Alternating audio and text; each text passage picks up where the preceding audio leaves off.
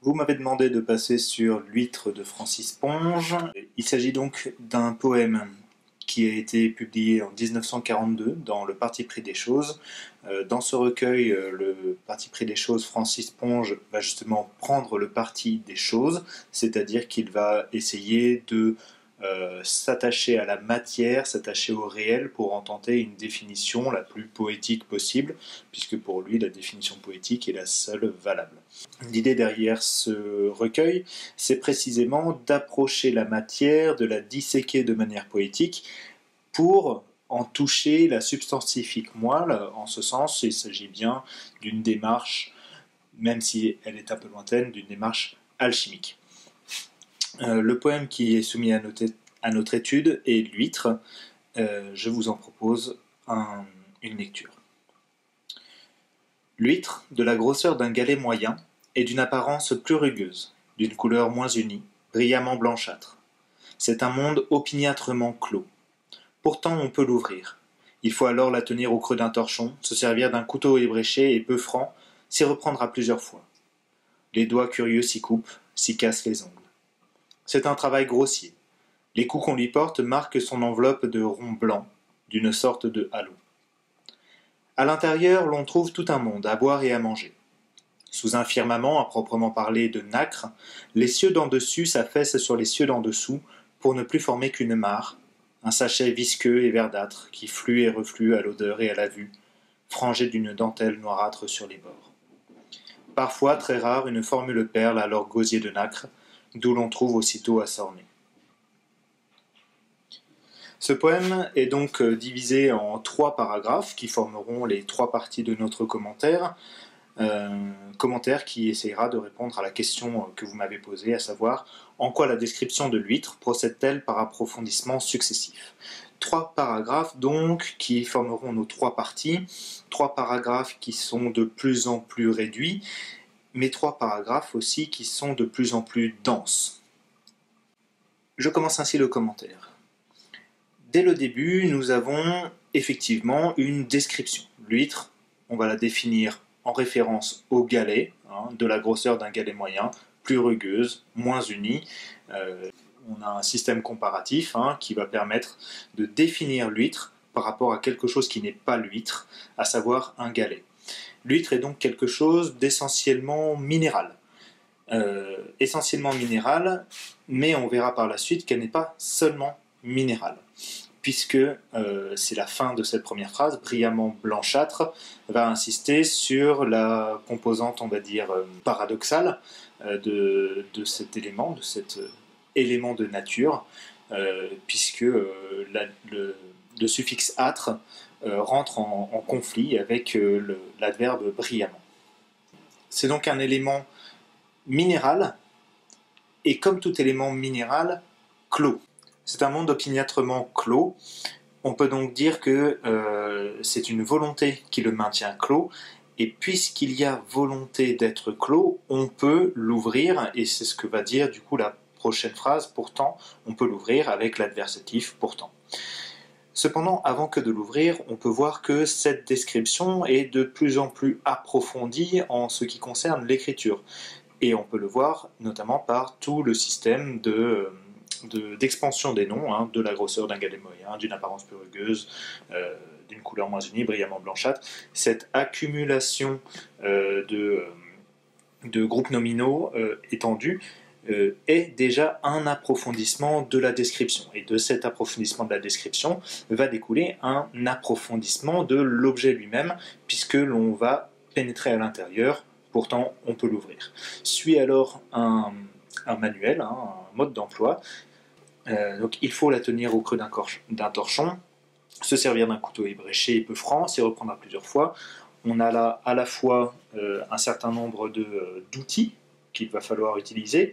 Euh, il y a euh, un mode opératoire, s'y reprendra plusieurs fois, des risques, les doigts curieux s'y coupent, s'y cassent les ongles, cet approfondissement de, l'huître, euh, cette ouverture de l'huître, est donc une opération dangereuse, risquée. c'est un travail grossier, dit le poète, grossier à la fois parce que peu raffiné, mais c'est aussi un travail grossier puisque si, si l'on si l'on se blesse, on peut éventuellement en tirer des grossièretés. Euh, cependant, c'est un travail, euh, ce travail d'approfondissement euh, est aussi un travail un petit peu avec une, note spirituelle, hein, puisque les coups que l'on porte la marque de halo. Et les halos sont le signe spirituel que, qui matérialise en tout cas la spiritualité d'une personne sur, sur un tableau. C'est donc un combat, puisqu'on y porte des coups, euh, et c'est un combat qui va nous permettre de percer la matière, marquer l'enveloppe, pour pouvoir l'ouvrir. Pourtant, on peut l'ouvrir, euh, pour pouvoir l'ouvrir et pénétrer à l'intérieur, et donc euh, passer finalement de ce premier état d'être qui était minéral à un deuxième état d'être qui sera animal. À l'intérieur, on trouve tout un monde à boire et à manger. C'est le début du deuxième paragraphe et donc de la deuxième partie à l'intérieur, nous avons donc pénétré la matière, nous avons approfondi l'huître grâce au travail qui a été euh, mené. On va donc pouvoir approfondir à la fois l'objet, mais aussi la description, puisque pour l'instant la description s'était arrêtée à son enveloppe. Maintenant que l'enveloppe est ouverte, on va pouvoir pénétrer à l'intérieur. Et ce monde, qui était opiniâtrement clos à la ligne 2, est ici ouvert. À l'intérieur, on trouve tout un monde. Donc ce monde est à boire et à manger, au sens propre et au sens figuré. À boire et à manger, puisqu'effectivement, il y a de l'eau de mer, il y a l'animal euh, que l'on peut manger et boire, mais il y a aussi à boire et à manger dans le sens où, euh, dans ce monde, qui était omniatrement clos, dans ce monde, nous avons du bien et du mal. Ce monde, du coup, va être euh, défini sous un firmament de nacre. Euh, la nacre était cet élément brillamment blanchâtre que l'on connaissait euh, de la ligne 2. Donc il y a bien un approfondissement ici. ce firmament qui est à la fois un ciel, on en parlera après, les cieux d'en dessus, les cieux d'en dessous, ce firmament est aussi le signe euh, euh, d'une tension entre euh, l'huître et notre monde à nous, qui repose lui aussi sous un firmament. Les cieux d'en dessus s'affaissent sur les cieux d'en dessous. Ici, on peut reconnaître une allitération S qui rend la diction de la description, c'est la description elle-même, difficile à lire. Il faut donc approfondir sa lecture aussi bien que la description elle-même s'est approfondie. Euh, ces cieux d'en dessus et ces cieux d'en dessous, là encore, un sens propre, un sens figuré, euh, ce sont les deux parties de l'huître, mais ce sont aussi euh, les deux parties du monde. tout cela s'affaisse l'un sur l'autre pour ne plus former qu'une mare, un sachet visqueux et verdâtre, qui, donc là où il n'y avait pour l'instant que la, la vue et le toucher avec l'apparence rugueuse et la couleur moins unie, va apparaître aussi euh, l'odorat, hein, qui flue et reflue à l'odeur et à la vue. Euh, et donc, il y a un sens qui va s'ajouter dans la description. Euh, la vue reste évidemment bien présente. Il s'agit d'une mare, un sachet visqueux et verdâtre. On retrouve là encore le même procédé d'approfondissement de la description par l'accumulation des adjectifs. On retrouve aussi euh, le suffixe en âtre plutôt euh, péjoratif, et euh, donc avec verdâtre et noirâtre, mais en même temps toujours cette ambivalence, hein, puisqu'il est frangé d'une dentelle qui est pour le coup plutôt positif. Donc on a bien un approfondissement de la matière, puisqu'on a pénétré à l'intérieur de l'huître, euh, un approfondissement de la description, et aussi un approfondissement euh, du travail de lecture, puisque euh, compliqué à lire, donc compliqué à la manière de pénétrer dans l'huître, d'en lire la description.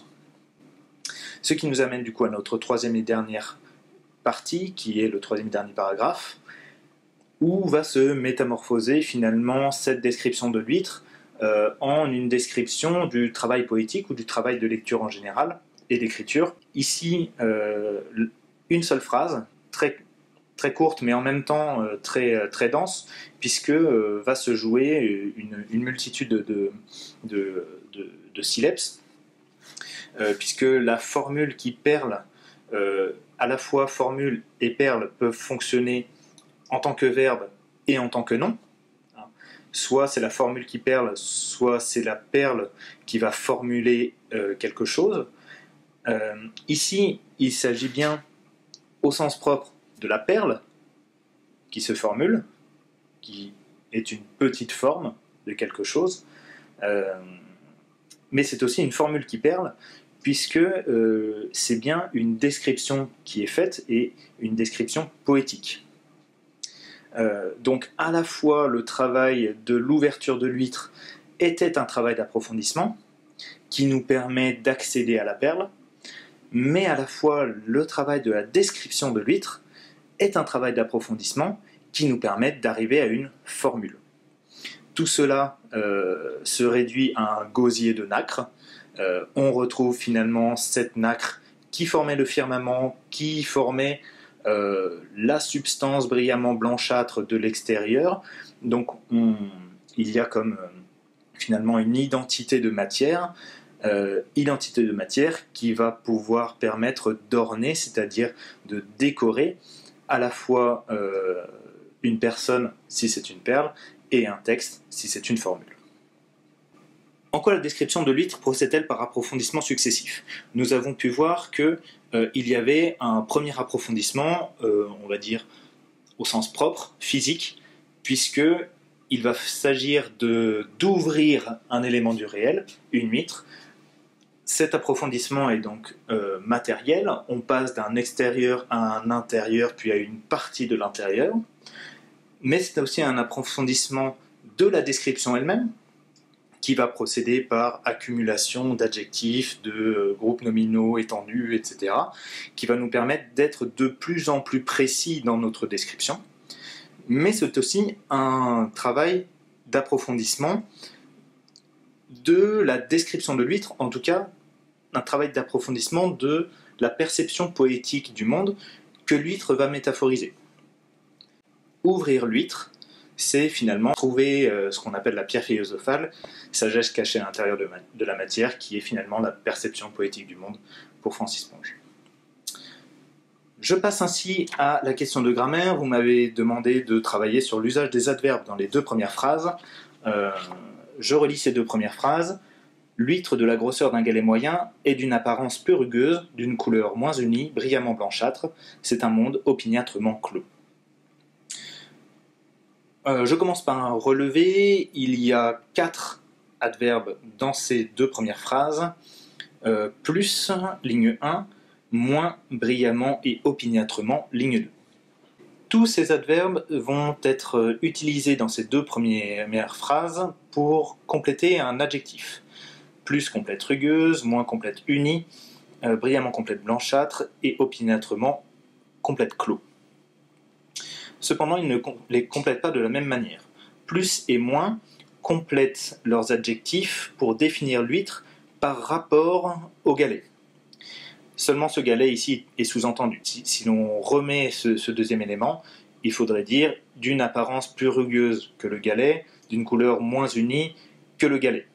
On se rend compte du coup que c'est un comparatif ici, plus et moins Euh, deuxième, euh, deuxième utilisation, ce sera l'utilisation qui est faite de brillamment et de opiniâtrement, qui vont compléter leurs adjectifs hum, dans l'absolu sans le comparer à autre chose.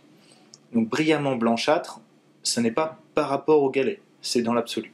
Opiniâtrement clos, ce n'est pas par rapport au galet, c'est au galet, c'est dans l'absolu. Dans ce cas-là, du coup, lorsque l'on a un adverbe qui complète un adjectif euh, directement placé euh, après, on se trouve dans euh, le système d'un superlatif dit absolu, puisqu'il ne rentre pas dans un système comparatif.